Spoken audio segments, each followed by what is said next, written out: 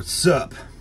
So, because I'm such an interesting man, sometimes people ask if they can pick my brain because they want to know what's going on inside this head of mine. So, today I have the special privilege of doing a little Q&A, a little question and answer. This is for a fellow YouTuber named Jacob Lenhoff Tours America. So let's get into this. These are the questions that I will be answering. Question one, how have you been lately? Have you been relaxing at home? Um, so, yeah, I've been okay. I'm doing all right. Um, as you know, uh, I, I, was going through some stuff um, lately, but things are getting, you know, I'm coming out of it. Everything's going all right. Uh, I just finished up um, watching the the season of You that's on Netflix. So uh, been been chilling, been reading some books, um, been been keeping busy. So yeah, everything's going okay lately, and I have been relaxing. Question two: What do you plan to do this spring?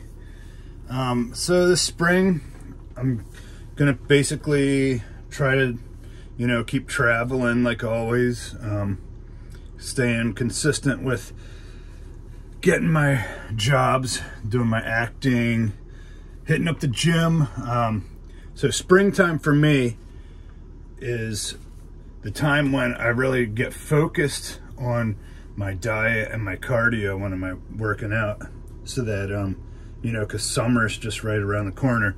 So I'm gonna look as good as possible getting ready for the summer season. And everyone knows that's the time when you wanna be cut and you wanna work out extra hard to get ready. Looking good for the beach, so that's what I'm up to this spring. Question three, what is the best thing you have done with the family recently? So, um, haven't done it yet, but me and my parents are planning a road trip. We will be going down to Georgia this week, uh, visiting my grandfather. So it's gonna be like a little over 10 hour drive. So it should be interesting. Um, that's gonna be good uh, family time spending.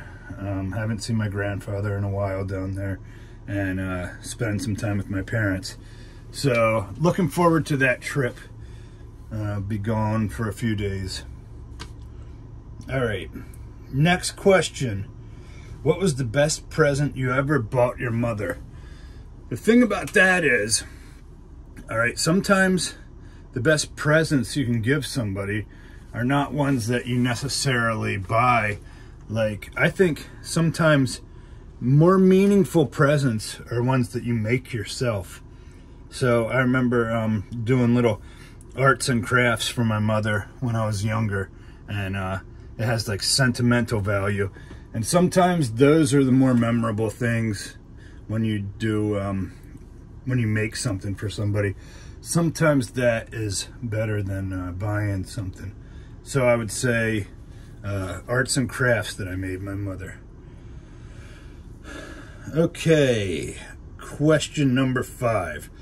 What is the most fun you had in one night recently?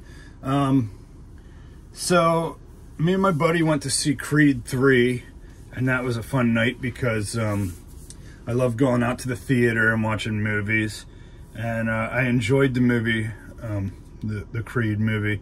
So, and also I just like watching movies in the theater because I feel like, you know, I'm out of the house, I'm out doing something, but, you know, it's not anything too crazy. Like it's still nice and relaxing, but you're still not just sitting around your house, you're out somewhere else, uh, socializing, you know, a little bit. You're you're in public, so I kind of like going to the theater rather than than watching a movie at home.